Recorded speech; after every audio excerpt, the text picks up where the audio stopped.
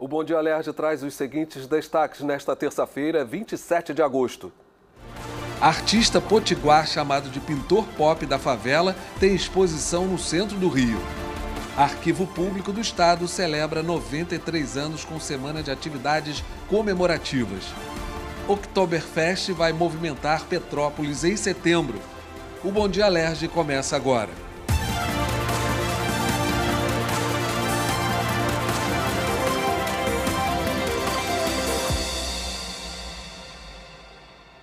Bom dia. A comissão do Cumpra, Cidalerge, Ministério Público Federal e nove das 15 empresas de helicópteros de voos de turismo fecharam compromisso para reduzir a poluição sonora na zona sul do Rio. O termo ainda é provisório, mas o não cumprimento resultará em multa leitura do termo de ajustamento de conduta aconteceu no auditório da Procuradoria da República do Estado do Rio de Janeiro, no centro da cidade, foi acompanhada pelo deputado Carlos Mink. Ele é presidente da comissão do Cumpra-se da Alerj e participou como mediador. Este é o primeiro passo para se tentar mitigar a poluição sonora provocada por voos de helicópteros de turismo, em especial nos bairros e comunidades do entorno do Corcovado e do Pão de Açúcar. A demanda de associações de moradores chegou ao Ministério Público e Alerj, que realizou uma audiência audiência pública que resultou no TAC. Mesmo provisório, o termo é uma importante etapa, como ressaltou o deputado enumerando os avanços e próximos passos. Avançamos em questões importantes. Por exemplo, Joá São Conrado, os helicópteros não vão mais passar em cima, vão passar 600 metros para o mar. Urca Praia Vermelha, os helicópteros não vão mais subindo e descendo, reverberando o barulho na pedra. Vão chegar por cima e sair por cima. Outro ponto, 600, 800 metros em torno do Cristo, não mais perto. E não ter mais voo pairado, aquele voo que paira para se fotografar, filmar e vai fazendo aquele barulho intenso. Identificação.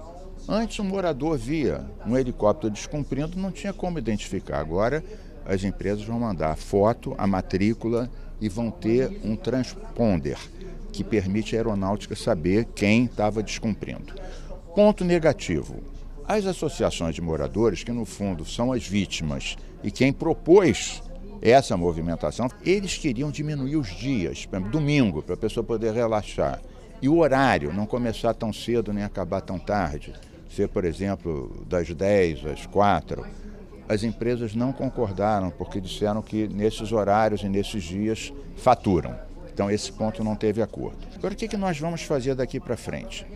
Com base no TAC, nós vamos intimar os órgãos ambientais da Prefeitura, do Estado, no caso INEA, e do próprio ICMBio, que é o gestor da Floresta da Tijuca, para que atuem, no caso do ICMBio, a fazer um eia-rima qual é o impacto disso nos animais, macacos, pássaros, fauna do, da Floresta da Tijuca. Então vamos avançar. Isso não é o fim do assunto, é uma nova etapa. O procurador da República, Sérgio Suyama, enalteceu o trabalho realizado pela Comissão da Assembleia Legislativa e a possibilidade do diálogo, sem judicializar o problema. Foi a possibilidade de a gente sentar na mesma mesa com 10, 9 empresas que estão assinando hoje esse TAC. É importante ressaltar que esse TAC é um TAC provisório, que vai ser feito uma espécie de um período de teste durante um ano, é, durante o qual então nós conseguimos avaliar melhor se houve ou não uma redução desse impacto causado. As empresas têm 15 dias para se adaptarem ou poderão receber multa de até 10 mil reais mensais. O advogado da Sul, pioneiro em voos de turismo, acredita que o termo e uma futura regulamentação poderão contribuir para que não só as nove signatárias do termo, mas todas se adequem que hoje foi criado através dessa ataque a estipulação de importantes parâmetros. Antes nós não tínhamos sequer a identificação de quais empresas que desenvolviam essa atividade econômica tão importante de turismo no Rio de Janeiro. Então hoje, além de ter a identificação, tornou-se eh, obrigatório agora, através da TAC, o uso do transponder. O uso desse equipamento possibilitará que as atividades aeronáuticas façam a identificação de eventuais aeronaves que estejam voando fora da regulamentação que foi estipulada aqui por, é, é por este TAC. Vamos agora ao nosso giro de notícias de hoje.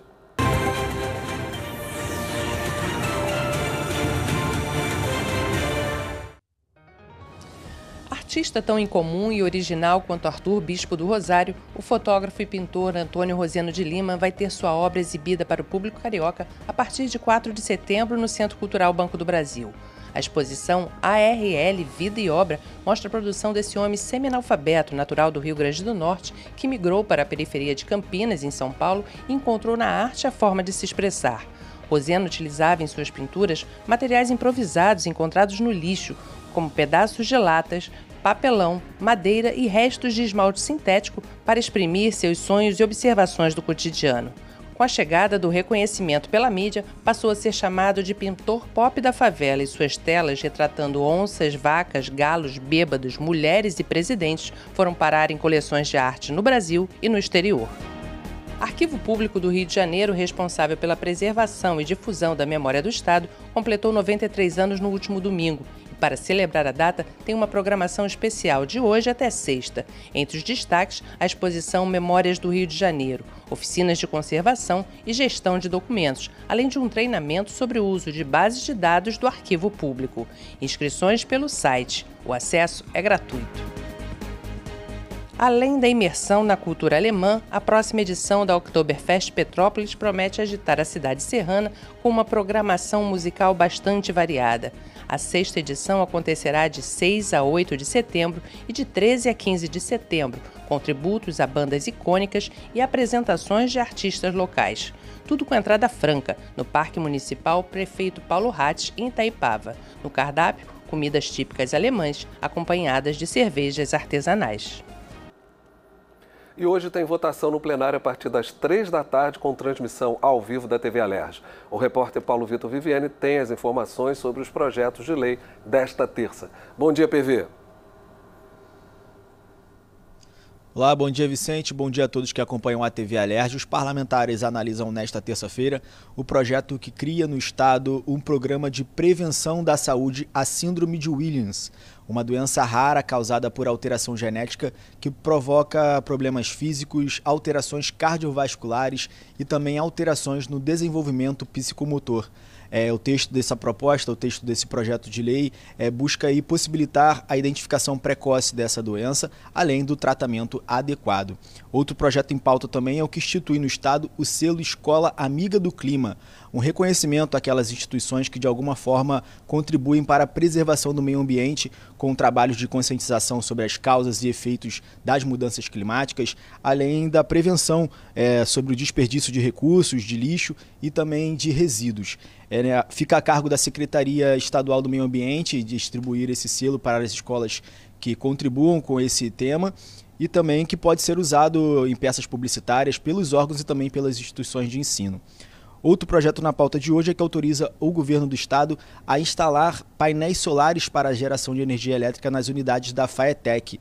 Esse objetivo, essa proposta, busca aí reduzir o consumo de energia elétrica e também reduzir, diminuir aí o impacto ambiental. Esses projetos e outros projetos você pode acompanhar ao vivo aqui na TV Alerj a partir de 3 da tarde. Vicente, volto com você no estúdio. Valeu, PV, um bom dia para você. Antes de encerrar, vamos dar uma olhada no tempo em algumas cidades do estado. Aqui na tela você vê Nova Friburgo, está nublado, 10 graus, bastante frio. Rio Bonito, também nublado, 13 graus. Natividade está com sol, mas com 9 graus, bastante frio. E Santo Antônio de Pádua está nublado, 16 graus nesse momento. Vamos ver agora como está o tempo aqui no Rio de Janeiro. De amanheceu com sol, você vê aí o Cristo Redentor, dia lindo de uma manhã de sol, mas com muito frio. Já amanheceu com 14 graus. Nesse momento faz 17 graus. A máxima prevista para hoje é de 22 graus e ainda pode ter aí uma, um aparecimento de nuvens aí ao longo do dia. E Tomara que não, né? Tomara que o tempo fique firme aí para a gente esquentar um pouco essa temperatura. Obrigado, Rodrigo Melo, pelas imagens de hoje. O Bom Dia Alerta termina aqui. Se você quiser enviar sugestões ou vídeos aí da sua cidade, é só acessar nosso e-mail tvalerj.alerj.rj.gov.br. Um ótimo dia para você e até amanhã!